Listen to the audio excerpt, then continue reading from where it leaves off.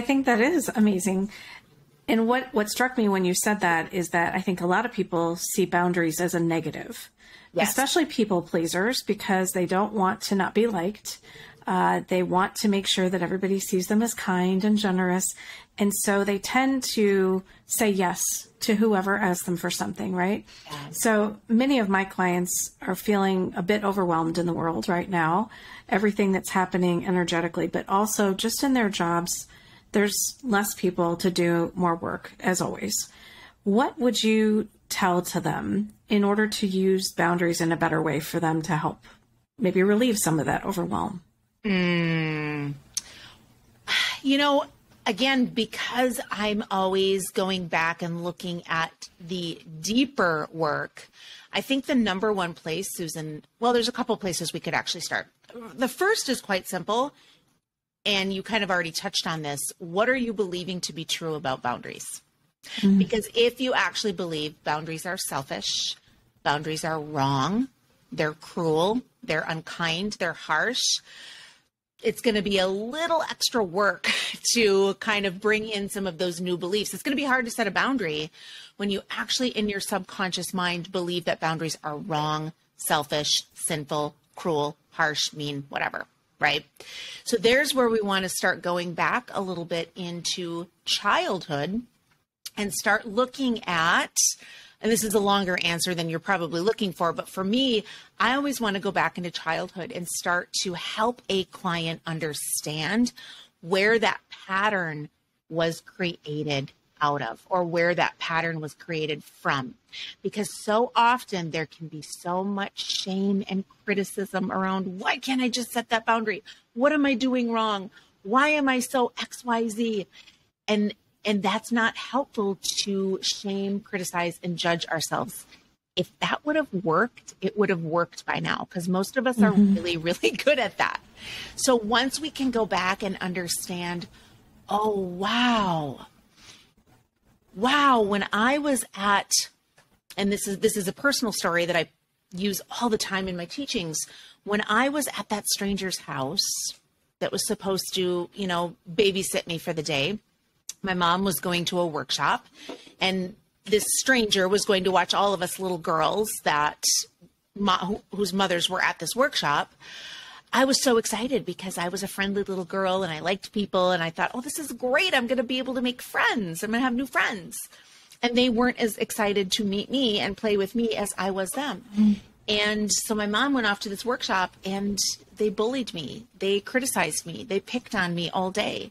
And I remember sitting at that kitchen table feeling so lonely and so not enough and so not chosen and so worthless out of that, Susan, came my deep desire to be liked, to do anything it would take to just please people, to just be chosen, to just understand that I fit in and I belonged and to have someone see my value and my worth. So I would I would abandon myself in order to have them accept me.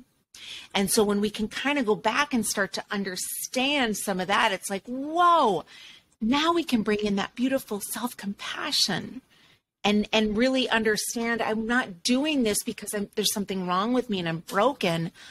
I'm I've been doing it all these decades, all these years to stay safe. Mm-hmm. It's a game changer for most people. So that's a little bit more of the deeper work that I would it really encourage some of your clients to take a peek at is where did some of these patterns get started? Because when we can start to piece those things together, it, it just lightens the load a little bit. Um, the other part is is that again we have to really understand what we're believing to be true around boundaries and we really have to understand what are requirements versus i think what are requests right like mm. So I think, and, and that's always a profound moment for people in terms of what is someone just simply requesting of me or what are they requiring of me? Are they actually requiring? Are they actually requiring that I stay up till midnight and answer emails? right? yes. Or is this just something that I'm expecting from myself? Because mm-hmm. I'm trying to be that person. A lot of times, perfectionism will go hand in hand with people pleasing, right? It's like, yeah.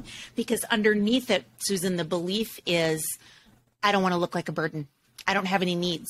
So if I just have all of my T's crossed, all of my I's dotted, nobody will see that I have any needs.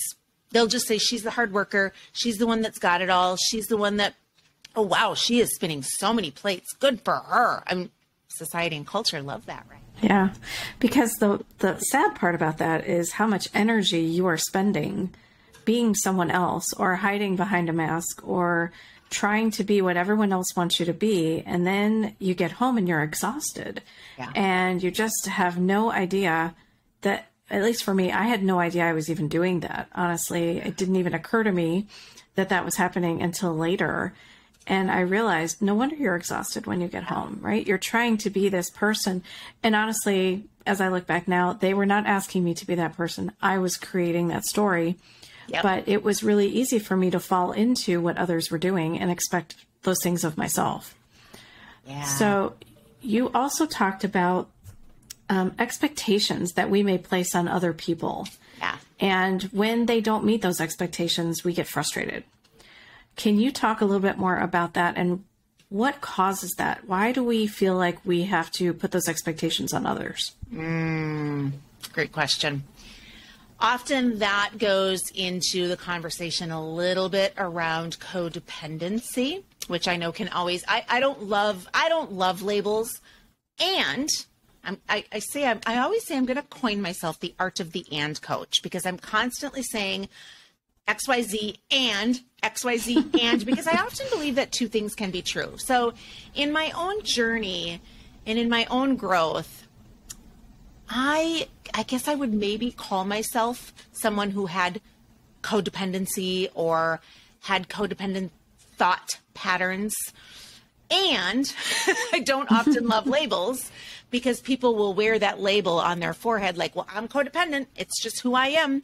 I'm a people right. pleaser. It's just who I am. And that's not, not what I'm saying. However, the label of codependency, once I started to go, whoa, I think I've got some codependent tendencies here. Then I was able to ask myself, where do I need to go to resource myself for help? How do I actually begin to heal this pattern? So I like to play with, I don't love labels, and they can be really helpful in your healing, you know, journey. Um, mm-hmm. So this kind of ties in a little bit with with codependency and what I often see with a lot of codependent people pleaser type uh, patterning is that we have got so many expectations because we are filtering the world through how we see it through our lens of the world. So i often I like to bring a little levity into my work because sometimes this work can be heavy. And so I always think it's yeah. to just laugh a little bit, right? Make it a little lighter. So I always like to say if if neighbor Sally had a baby, you know, here I am bringing 35 casseroles over to Sally's doorstep, right? And every casserole's got the right bread, the right side dish, the right dessert. Obviously, I'm being a little extreme here, right? Just to prove a point. And so yeah. then when the role because that's how we filter the world, right? Like, oh my gosh, when when somebody goes into the hospital, like this is just what you do to make that person feel loved and cared for and appreciated and whatever. And often too, you know, as people pleasers and codependent type folks, uh, you can have some of those extreme sort of um, untrue thinking patterns or almost like fantasy type ideas that and I really I mean you know, I I would in my own journey, I would take somebody a casserole when they had a baby and not know what I was going to feed my own family that night. And it's like walking over, you know, kids that are having tantrums on the floor, and it's like, well, I don't know what we're eating, probably spaghettios, but you know, at least they're going to eat good tonight. Right.